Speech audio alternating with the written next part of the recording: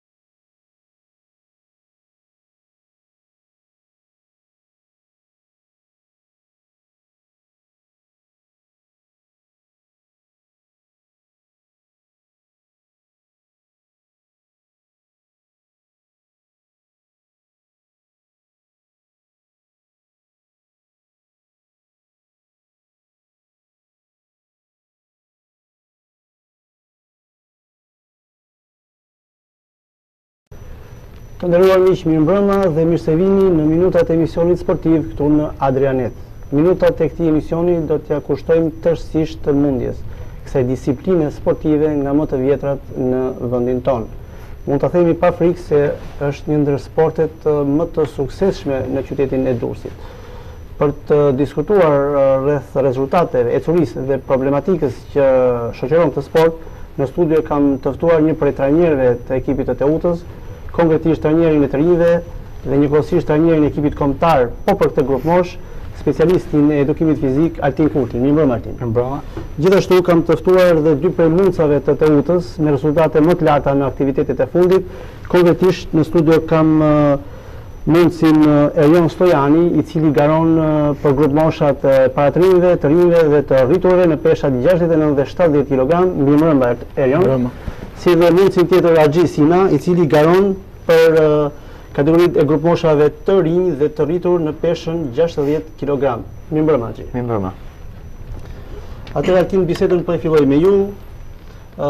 Prej disa vitesh jeni pjesë e trajningut në mundjen e qytetit tonë, së bashku me trajnerin e pasionuar Fuat Brahi, pra keni krijuar një dyshe tepër simpatike, do thoja, në drejtimin dhe trajningun e mundjes durrsake.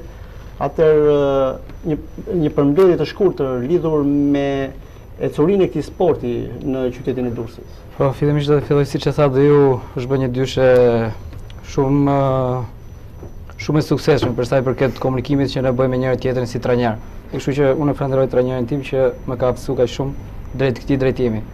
Për sa i përket historikut që mundja durrsake ka, them që gjithmonë ka qenë ndër sportet më të suksesshme. Ka treguar gjithmonë rezultate dhe ka pas ka qenë gjithmonë ndër vend parë, vend dytë në çdo lloj aktiviteti. Ë mund të përmend që ndër vitet që trajneri im ka fillu si trajner, pas viteve 86, ai gjithmonë ka drejtuar ekipin e Teutës duke pas rezultate, ku ekipi ka qenë në vend të parë, vend të dytë, nga viti 86 deri në 91 ka, ka qenë në, në vendin e parë. Më pas me vend të dytë. Dhe për kontributin që kanë dhënë në këto sporte, unë do të përmend disa nga emrat që kanë qenë në të vërtetë kampionë të mëdhenj. Do të filloj nga Shkëlqim Troplini, ka për konkurruar në peshën 96 kg, ku ka qenë edhe përfaqësues në Olimpiadën e 96-ës në Atalanta. I vetmi sportist i Durrësit që ka konkurruar në Olimpiadë. Ndërsa sportistët e tjerë janë Rustem Gjergji, Pal Pali, Shkëlqim Troplini, siç i thonë Qimi i vogël, se janë dy Qima në ekipin tonë. Pastaj për të kaluar në periudhën time, ku mund të përmend emra si Klodian Ahmetaj, Roland Bodli, Ed Karepi, Edmond Brahi, pastaj vjen grupi që është momentalisht që përfaqësojnë me shumë dinjitet ekipin e Teutës, që ka dhënë rezultate goxha të mira, siç janë Islam Islamaj, konkurron peshën e parë, Poli Harxhisina që vazhdon të jetë pjesë e të rriturve, Elton Azuni, pesha 65 kg kampion kombëtar, është afruar në ekipin tonë dhe Vilson Dreqoni, ish ekipës i Mundësit, është afruar tani në, në ekipin tonë. Marius Malko pesha 70 kg, 74 kg, Denis Dinaj 86 kg, Paris Karepi 96 kg dhe i fundit Fatjon Baro, i cili edhe ky nga ekipi i Tiranës është afruar në ekipin e Durrësit. Them që rezultatet gjithmonë kanë qenë të kënaqshme, duke ditur që në këtë drejtim ka qenë edhe Fuat Brahi, që ka bërë një punë të shkëlqyer me ekipin. Patjetër, e përshëndesim dhe nga ekrani profesor Fuat Brahimi, i cili vërtet ka dhënë një kontribut të jashtëzakonshëm për mundjen durrsake. Altin, cilat kanë qenë aktivitetet e fundit qofshin këto kombëtare apo ndërkombëtare, ku Teuta ka marrë pjesë dhe çfarë rezultatesh keni arritur në këto aktivitete? Po, unë do të përmend aktiviteti i parë ka qenë mbarëkombëtari që u zhvillu në Tiranë, ku ne u përfaqësum me ekip të plotë dhe arritëm të marrim vendin e parë. Sigurisht që ai ishte pretendimi jonë që të fitonim vendin e parë. Pavarësisht se konkurrenca ishte shumë e lartë, si Kukësi, Kosova, Maqedonia kishin ardhur me synimin për të marrë vendin e parë, po simbas rezultatet që dhanë sportistët tanë, arritën ta, ta përfundonin, si të them, përkryer këtë aktivitet, pra, në, në fitoren e titullit po, kampion. Në timin në nivel ekipor, ju zutë vendin e parë. Vendin e parë, me 31 pikë, ku më mbrapa shoqërohet ekipi i Kukësit me 26 pikë, pastaj Shkodra me 16 pikë. Po sa i takon individëve? Po, që paraqitja e mundësave durrsakë? Unë mund të filloj nga pesha e parë, Sure Vrioni ka bërë një një paraqitje, mund të them shkëlqyeshme, sepse ai është në moshën 14 vjeçare dhe arriti të konkurrojë me 20 vjeçarë, ku arriti të shkojë në finale. Kështu që zuri vendin e dytë, po edhe në finale bëri një ndeshje shumë shumë pozitive, me një fjalë tregoi veten që ka goxha nivel. Ë Pesha e dytë kanë qenë dy sportistë të Teutës që arritën ta dominojnë komplet peshën, duke filluar nga Haxhi Sina dhe Eriglen Prizreni. Të dy këto sportistë arritën në finale, ku si përfundim shpallet kampion mundësi Haxhi Sina. Gjithmonë me rezultate shumë pozitive, me me superioritet pikësh i ka fituar të gjitha ndeshjet. Mundësi tjetër i peshës 61 kg është Xhesian Menga. Edhe ky pas tre ndeshjeve fitore radhazi arriti të shkojë në finale, por humbi me një të Kukësit. Kështu që shpallet vendi i dytë, 65 kg ishte Franca Zuni. Franca Zuni me Hans Mara ishin dy mundës që ne patëm dublu peshën 65 kg. Por fatkeqësisht vetëm Franca Zuni arriti të shkojë në vendin e tretë. Mundësi Hans Mara u eliminu që në raundin e parë. Më pas vemi te pesha 70 kg te Laurian Stojani, mund të them me plot bindje që më i suksesshmi i aktivitetit, pati një rezultat shumë pozitiv ku të gjitha ndeshjet i mbylli me superioritet pikësh, nga 10-0 brenda një minuti. Më pas në 74 kg nuk kemi pas mundës, as në 84, në 96 kg shpallet Denis Dinaj, edhe ky me superioritet pikësh pa asnjë lloj problemi arriti fitoi ndeshjet që kishte. Gjithashtu dhe Paris Karebi, mundësi fundit, në peshën qind e njëzet kilogramë. Të gjithë këto për mua kanë dhënë rezultate shumë pozitive që dhe jam shumë i kënaqur duke u bazuar dhe te puna që ne patëm bë, që ishim përgatitur intensivisht për këtë garë. Ky pra ishte aktiviteti i turneut që u bë në Tiranë. I parë që u zhvillu në Tiranë. Po, po. Pastaj ishte e turneu botëror që u zhvillu në Selanik të Greqisë, ku unë isha edhe trajneri i ekipit kombëtar duke bërë përzgjedhjen. Pavarësisht se unë nuk isha i pranishëm në gjatë aktivitetit, se shkoi trajneri tjetër Islam Islamaj. Sportistët tanë atje arritën të marrin 15 medalje. Ku si ekip ekipi i para të rinjve u shpall në vendin e dytë, ndërsa ekipi i të rinjve në vendin e tretë. Ndër këto mund të veçoj që arritën të marrin medalje ishte Erion Stojani, pesha 69 kg, fitoi ndaj grekut, ndaj qipriotit, që arriti të fitojë bindshëm. Pra zuri vendin e parë dhe meritoi medaljen e medaljen e artë. Po. Ë mund të përmend Paris Karepin dhe ky një një paraqitje të shkëlqyer në këtë aktivitet.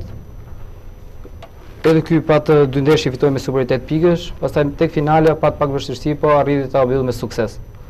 Ë ndërsa Reglen Prizreni peshës 56 kg në finale arriti të shkojë dhe të mundi dhe qipriotin ku ishte dhe pretendent për, për të marrë medaljen.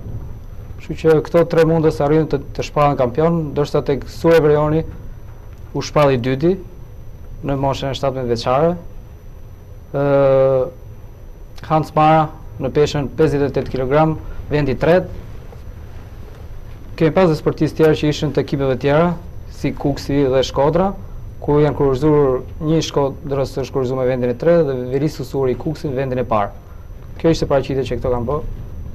Edhe këtu ka qenë një një paraqitje shumë pozitive. Po vërtet ka qenë një paraqitje nga sa shpjeguat dhe ju, tepër pozitive me rezultate të larta, qoftë në nivel individual, por edhe në nivel ekipor. Atëherë Haxhi, siç e përmendi edhe profesori, arritët të shpalleshit kampion në turneun e Tiranës, në peshën tuaj. Ç'mund të thoni për këto gara? Sa ndeshje zhvilluat dhe patët të vështirë të arrinit këto rezultate? Po, gjatë garës që u zhvillua, gjatë mbarëkombëtares që u zhvillua në Tiranë, pata fatin kisha dy ndeshje, ku ndeshja e parë ishte të përballesha me një mundës të Vllaznisë, ku aty vura re që kisha një mundës përballë me një, një mundës të fuqishëm me fizik dhe u detyrova që të punoja më shumë nga ana teknike, si, siç kam punuar me mësuesin tim, me trajnerin tim Altin Kurtin, më shumë jemi fokusuar nga ana teknike dhe kam arritur që fitoj me superioritet pikësh duke përdorur teknikën më së shumti, më pas forcën. Më pas arrita deri në finale me shokun tim të skuadrës Eglen Prizrenin, ku dhe me Prizrenin arrita të, doli një ndeshje mjaft e kënaqshme, arrita të fitoja përsëri me superioritet pikësh, gjithmonë duke bazuar teknikisht, duke luftuar teknikisht, jo duke bazuar tek forca. Aty ishte ndeshja finale dhe ku dola kampion i peshës përkatëse. është vërtet sukses i madh. Profesor, siç tha dhe mundësi juaj, nga udhëzimet që na dha profesor Altini, ishin të tilla që të përqendroshim nga pikëpamja teknike sesa nga pikëpamja, po, forcës. Po, është vërtet. Ç'do të thotë kjo? Sepse edhe ne specifikisht i japim më shumë rëndësi anës teknike, anës taktike, që mundës, mundës, mundësat tanë mos të jenë vetëm nga ana fizike të fortë fizikisht, që të bazohen vetëm te forca. Por që kur të kenë një mundës, siç e tha Agjisina, po shumë i fortë fizikisht, me, po, pak teknikë, mund të kalojë një superioritet pikësh dhe të fitojë ndeshjen. Pa u lodhur. Siç ndodhi realisht në... Siç ndodhi, po. po. Po ju Erion në aktivitetin që zhvilluat në Selanik, ç'mund të thoni mm. për garat? A e patët të vështirë të arrinit suksesin mm. që regjistruat? Në Selanik ishte një garë e fortë, pasi kishte konkurrencë të madhe, kishte shumë shtete pjesëmarrëse, Unë bëra tre ndeshje atje. Pra gjithsej në gjithë aktivitetin bëtë tre ndeshje. Bëra tre ndeshje. I fituat të treja apo? Të treja i fitua, i fitova. Me kë i kishit këto ndeshje? Ndeshja e parë ishte me një grek. Ndeshja e dytë me një maqedonas dhe ndeshja e tretë përsëri me një grek. Pasi grekët fusnin dy ose më shumë sportistë në peshë. Pasi edhe aktiviteti zhvillohej në Greqi. Ë po, i fitova këto tre ndeshje, ndeshja më e vështirë ishte në finale kundra grekut. Ishte një ndeshje shumë e fortë pasi greku ishte fizikisht dhe teknikisht tepër i fuqishëm. Tepër i saktë, shumë i përgatitur, por e, përgatitja tepër cilësore teknike që patëm bërë përpara, pasi e dishim që patëm bërë një plan afatgjat për këtë turne, pasi e dishim muaj përpara, patëm punuar shumë, e, e përfundova ndeshjen me sukses. Pasi patëm edhe mbështetjen e Kosovës, Maqedonisë, shqiptarët Këto na mbështetën? Ju mbështetën në... Moralisht. Moralisht, po, po, po. Po. Në finale me Grekun, Grekët bërtisnin për Grekun e tyre, ndërsa Shqiptarët për Shqiptarin. Pra Kosovarët ju mbështetën po. ju? Gjithë, Maqedonasit. A kishte mundës Kosovarë, pjesëmarrës? Kosova, Maqedonia. Edhe maqedonasit pjesëmarrës të gjithë shqiptarë janë. Nuk ka maqe... nuk janë me kombësi maqedonase. Ishin maqedonas me kombësi shqiptare. Po. Altin, kalendari i aktiviteteve kombëtare, sigurisht që përcaktohet nga Federata Shqiptare e Mundjes. Po.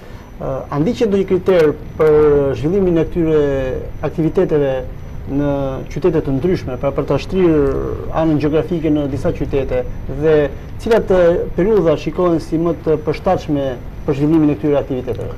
Po, kjo kjo punë, si thuhet i përket më shumë federatës së mundjes, gjë që të cilën e bën me shumë saktësi mund të them, që ajo gjithmonë ka shfaqur idetë që garat jo të zhvillohen vetëm në qytetin e Tiranës, Po janë zhvillu në Kukës, janë zhvillu në Durrës, si ka ndodhur, si ka ndodhur aktualisht në kohët e fundit. Pra ka pasur një shtrirje. Po, ka pas një shtrirje që çdo trajner mund të shfaqë idenë e tij ose si të thuash të marrë një garë që ta organizojë në qytetin e tij. Ne për shembull momentalisht kemi dhe ne një ide që të Fitojmë aktivitetin që bëhet me të rriturit.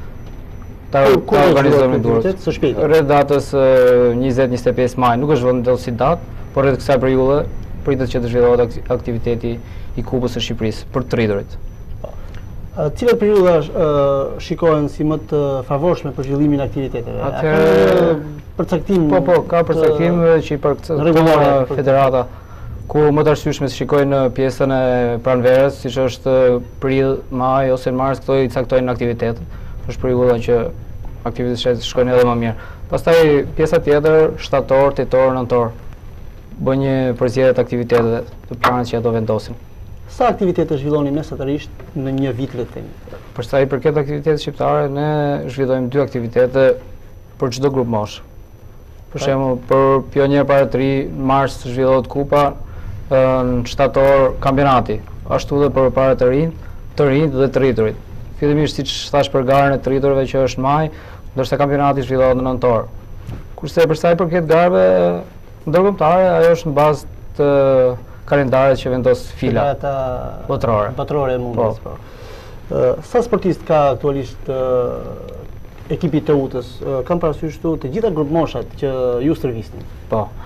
Do të them që ka një masivitet pjesëmarrjesh nga çdo grup moshë. Afërsisht momentalisht stërviten rreth 60 deri në 70 sportistë tek të gjitha grup moshat. Kurse për sa i përket programit stërvitor ne atë fillojmë nga ora 2 fillojmë me shkollorët dhe para të rinjtë, ku dhe trajneri përkatës është Islam Islamaj.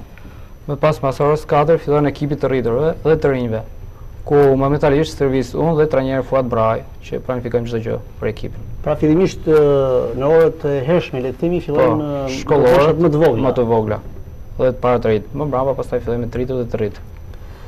Por në ekipin kombëtar me sa mundës përfaqësohet skuadra e Teutës? Pothuajse në çdo aktivitet kombëtar, ndërkombëtar, ekipi i Teutës ka pas pjesëmarrës. Por kufizimi që federata bën, maksimumi që ato të shkojnë nëpër aktivitete, për arsye të fondeve, shkojnë një, dy ose tre. Nuk ka më shumë. Nga një, dy ose tre do përzgjidhen këto elemente që janë më të mirë, që federata mendon që janë më të suksesshmit. Momentalisht shkon tre sportistë në Europianin që u zhvillu në Finlandë, ku një ndër ato sportistë ishte dhe Elton Azuni.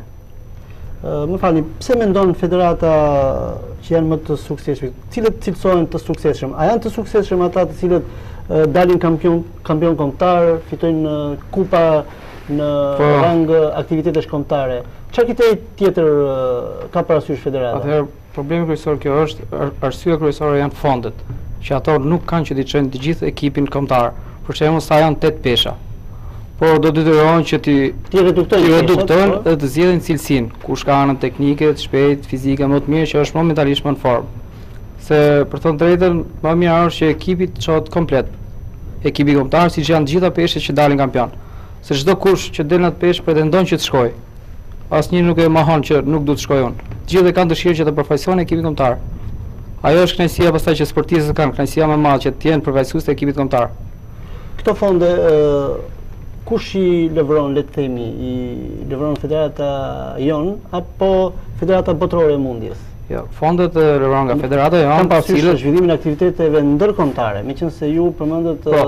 Çdo gjë, çdo shpenzim, po çdo shpenzim që bëhet europian ose botëror, do t'i do të paguhen nga Federata e Mundjes Shqiptare. Këto janë që do t'i paguajnë. Prandaj dhe kosto që këto marrin nga shteti është shumë e vogël, prandaj duhet të reduktojnë edhe sportistët.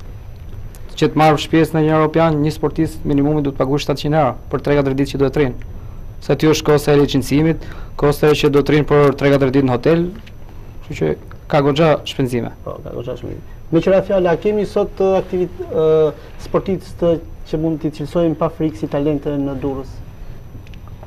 Unë do ta filloj që tek tek pjesa shkollore para të rinjve, që kemi talent duke fillu nga Sure Berjoni, Riglen Prizreni, Hans Maraqi, Paris Karepi që shfaqin me të vërtet shumë talent dhe kanë shumë premisa në të ardhmen. Pastaj sportistët që kemi studentë, Erion Stojani, Haxhi Sina, shfaqin kanë shumë aftësi teknike, fizike për të qenë në të ardhmen të suksesshëm. Më pas janë tek ekipi i të rriturve, siç është Islam Islamaj, Elton Azoni, Marius Malko, kanë goxha premisa, po çdo kush nga këto do mbështetje më shumë.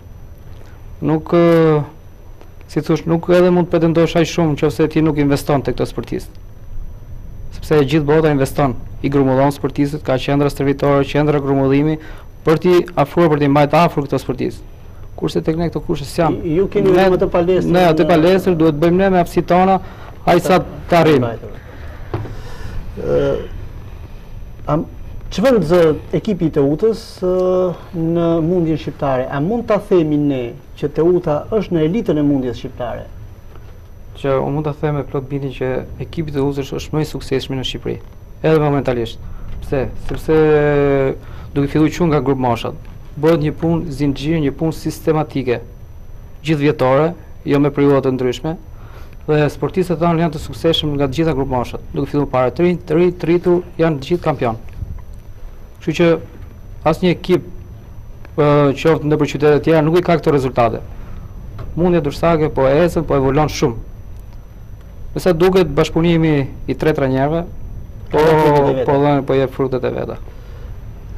A e tërheq brezin e ri ky sport, pasi është një sport relativisht i vështirë? Po Sigurisht. Ju e thatë pak më parë që ka një masivitet, mos gaboj thatë 60-70 mundës, duke përfshirë gjitha grup po, moshat. Po, në total. Për sa i përket masivizimit, vetëm 60-70 mundës, siç mund ta themi, nuk janë pak që janë pjestarë në palestrën e mundjes. Ndoshta fjala mundje të tjerët edhe mund t'i vrasi pak. Po mund të them plot bindje që mund të jetë sporti më argëtues që të aftëson të rrit forcën fizike, të përqëndron, të burrëron më shumë. Kështu që është një një sport që edhe sukses po jep, por edhe masivi, masivizim ka goxha. Altin është një pyetje që thuajse e kam bërë në të gjitha emisionet që kam zhvilluar me edhe me disiplina të tjera sportive. ë sa i takon mbështetjes qoftë në bazë materiale, qoftë Nga pikëpamja financiare që keni marrë nga klubi apo nga nga ana e bashkisë. Po. Çfarë mbështetje keni nga Atëherë fillimisht është mirë që unë ta ta them që sa kanë pas marrë sportistët tanë para 4-5 viteve. Sido që të ishte kampion, nënkampion, ai kishte vetëm 48.000 lekë t'vjetra. Trajtim që u qunte ushqimor. Ky është trajtim mujor? Po, trajtim po. ushqimor që u jepte sportistëve. Vetëm 48.000 lekë t'vjetra. Pastaj më pas Bashkia e Durrësit këto i ka kaluar 250.000 lekë vjetra për kampion. Atëherë një sportist i të rriturve merr nëse është kampion 250.000 lekë vjetra. Po nëse nuk është kampion? Po mund të shpërblehet 100 ose 150.000 lekë të vjetra duke pa se sa aftësi ka ai. Pak gjithnjë kemi parasysh pagesë mujore. Pagesë mujore, po. Do të thoshe që a duhet të jemi të kënaqur me këtë?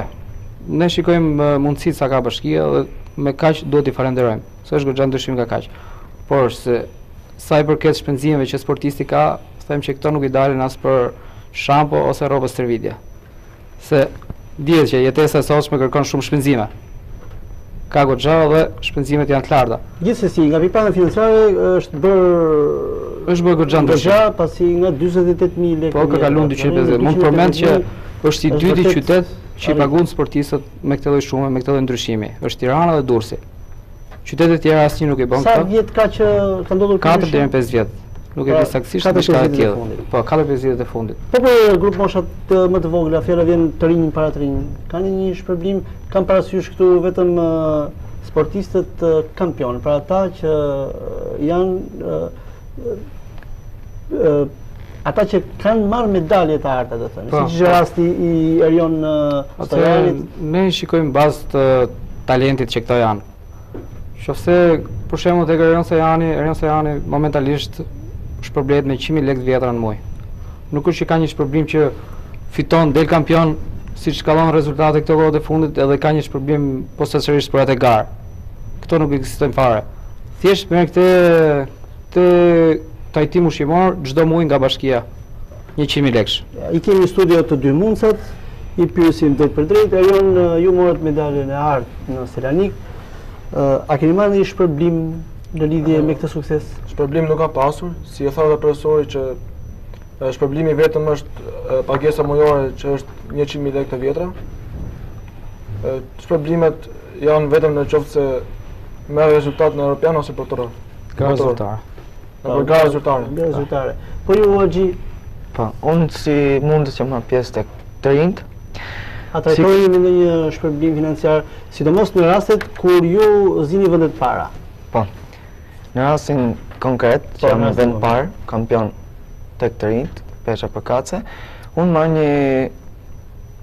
një shumë prej 100.000 lekësh të vjetra, mujore, pra mujore, trajtim ushqimor. Si...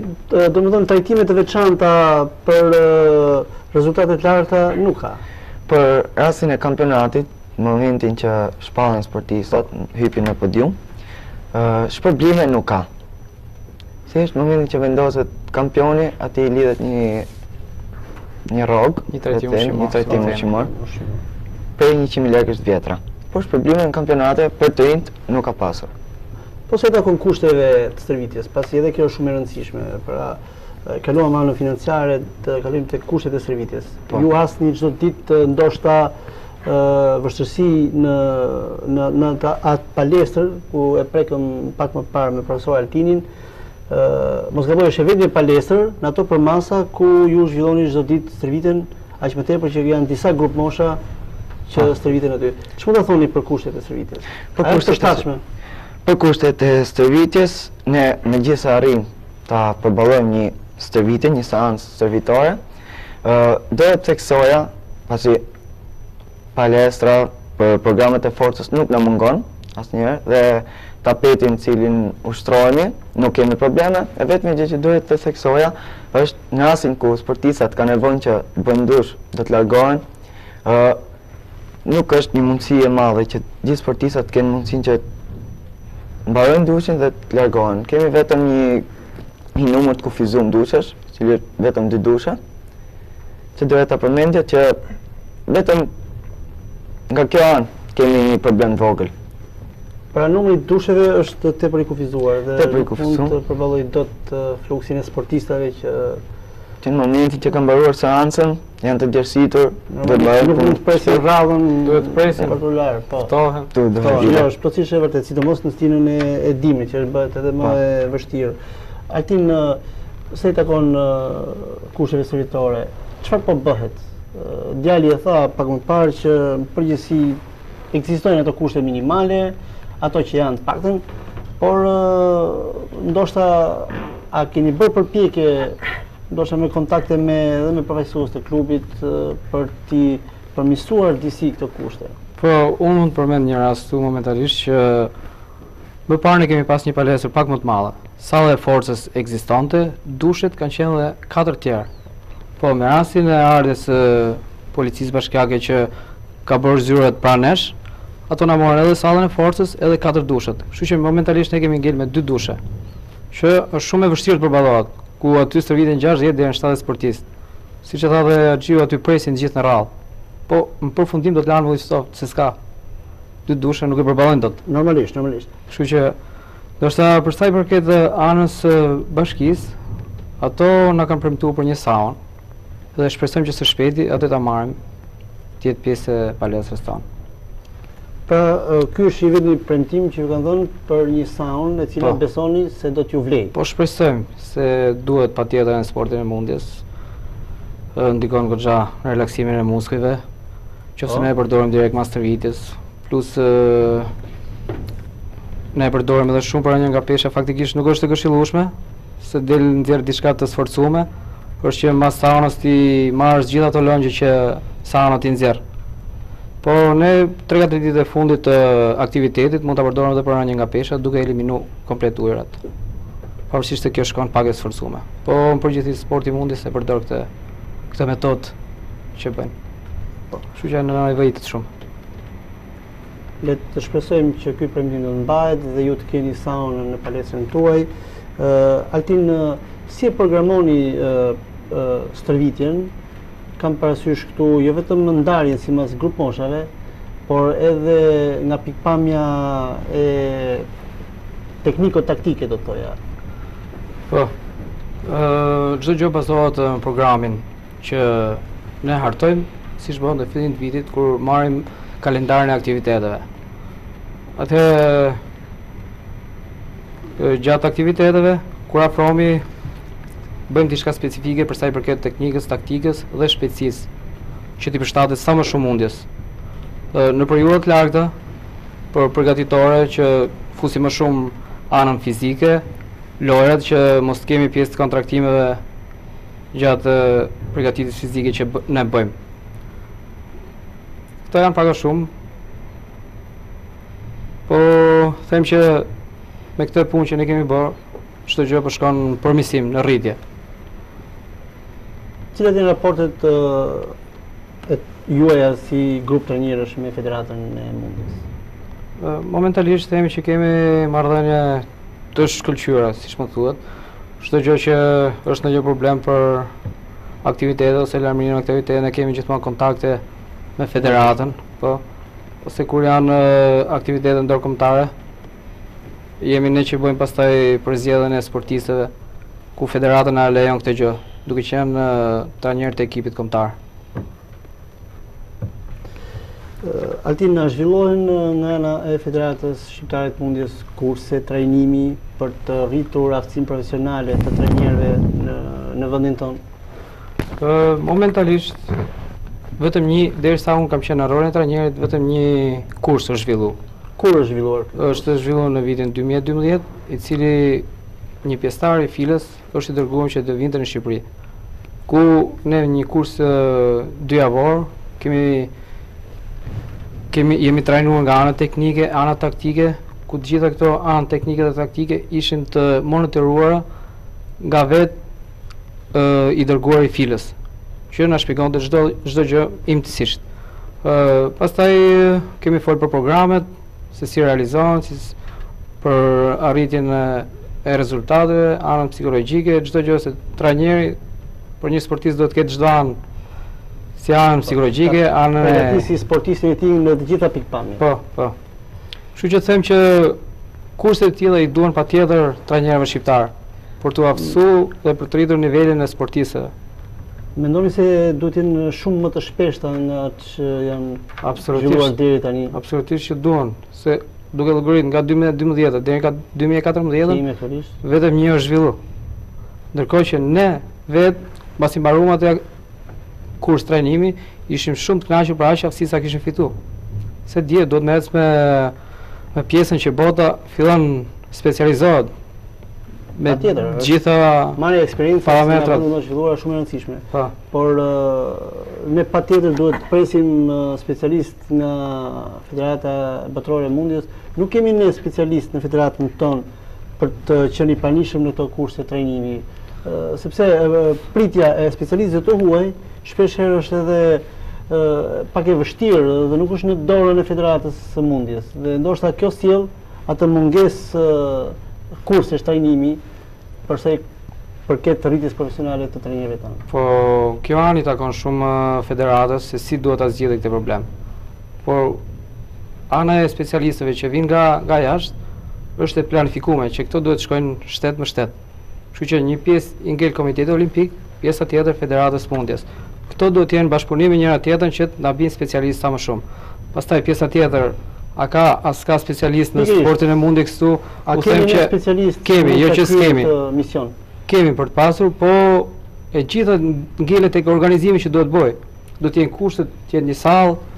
Nuk mund t'i bëjmë duhet një kohë, dy javore, tre javore që të gjithë trajnerët të grumbullohen në një hotel, që të jenë të përkushtuar vetëm për atë punë.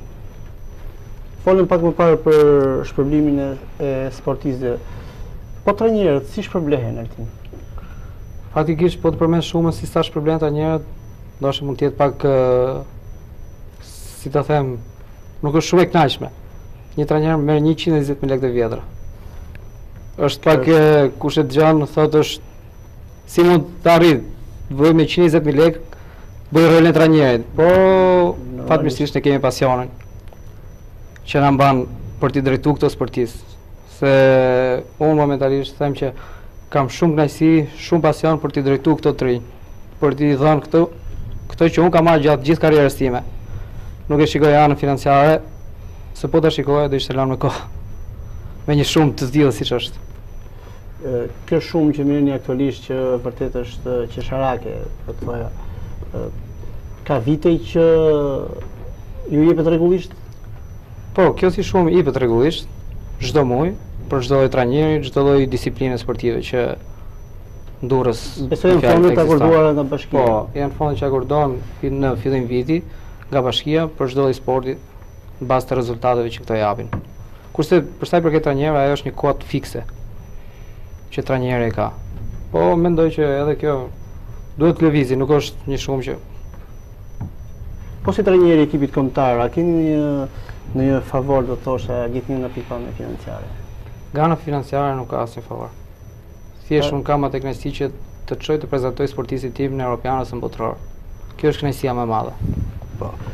Atëherë Altin në bazë të kalendarit që ju keni marrë në fillim të vitit siç e thatë dhe pak më parë, Cilat janë aktivitetet më të afërta, qofshin këto e përsëris kombëtare apo ndërkombëtare? Po, momentalisht fokusimi tek shkollorët dhe para të rinjtë është në muajin prill.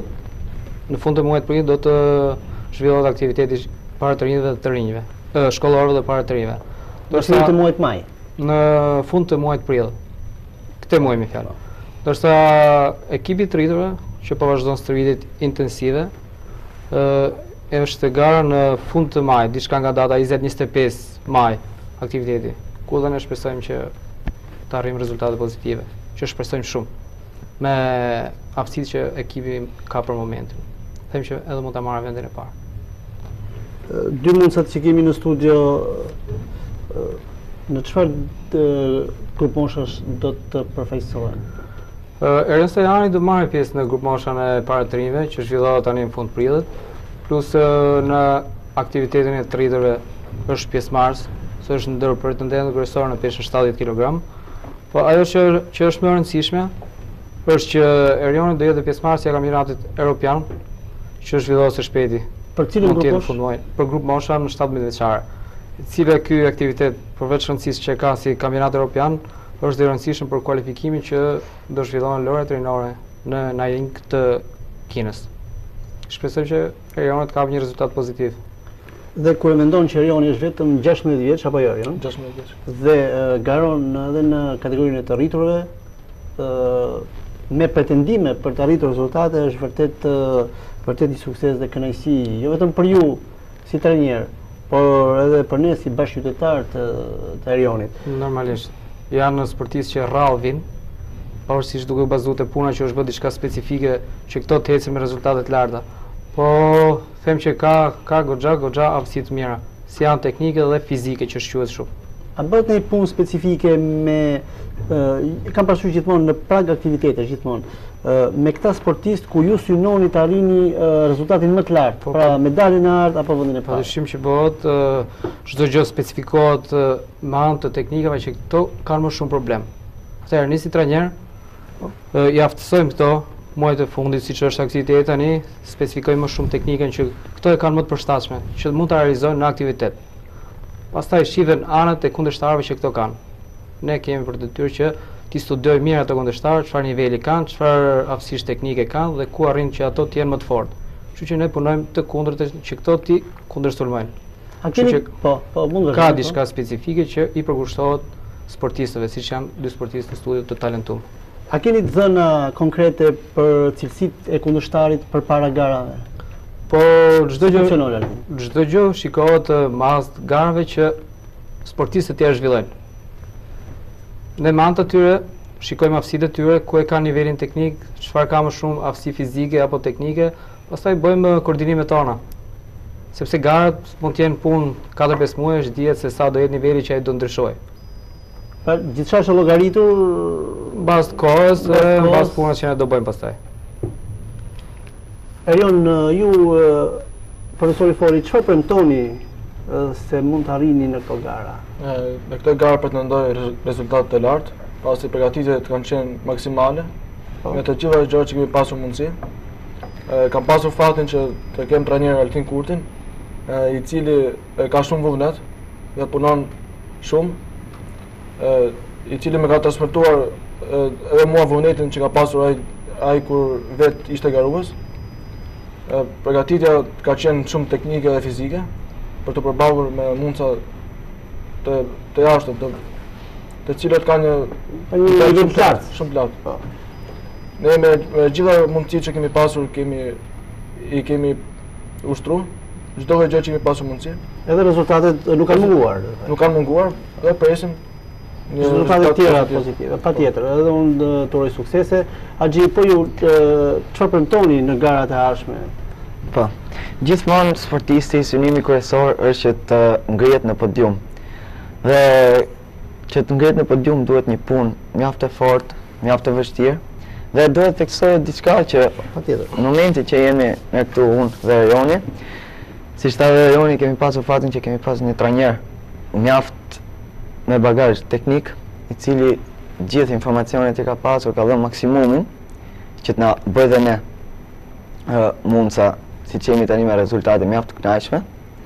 Kemi pasur fatin që e kemi pasur trajner, gjithmonë na ka ndenjur në kokë dhe në stërvitjen mjaft të fortë që duhet për të përballuar një kampionat ndërkombëtar, një kampionat europian. cilën e synojmë do të shkojmë dhe të japim maksimumin atje, duke arritur një medalje, pasi është ëndrra e çdo sportisti.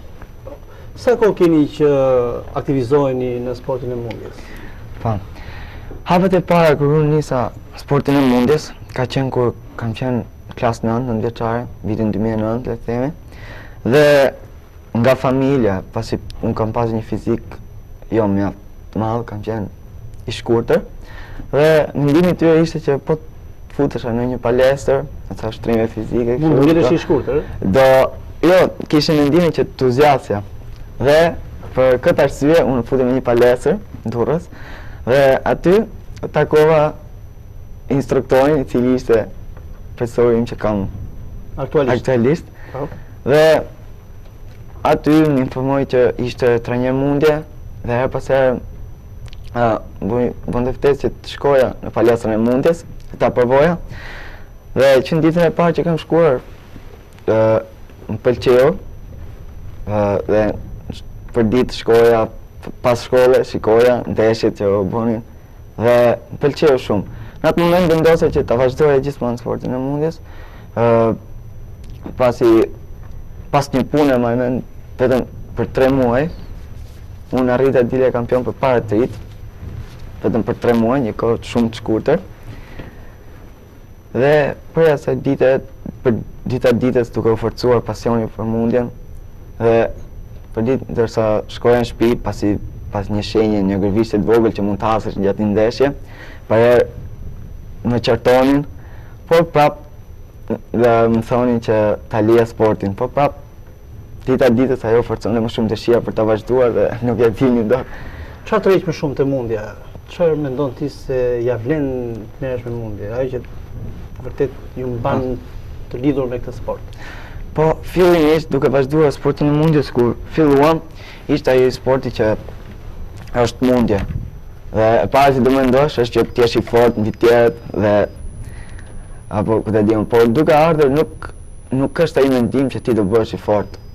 Çdo moment do do mendosh ta godasësh tjetrin sepse je ti më i fortë, por aty fiton një gjë më të madhe se forca është respekti, është kultura që ti arrin ta bësh me anë të shoqërisë, me anë shoqërisë që krijon në mundje sepse sapo futesh në atë palestër është një ndryshim shumë i madh.